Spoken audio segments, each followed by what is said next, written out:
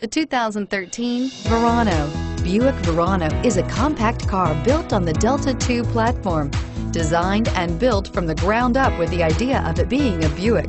This vehicle has less than 30,000 miles. Here are some of this vehicle's great options. Anti-lock braking system, traction control, moonroof, power steering, air conditioning, front, aluminum wheels, control, rear defrost, premium sound, AM FM stereo radio. Take this vehicle for a spin and see why so many shoppers are now proud owners.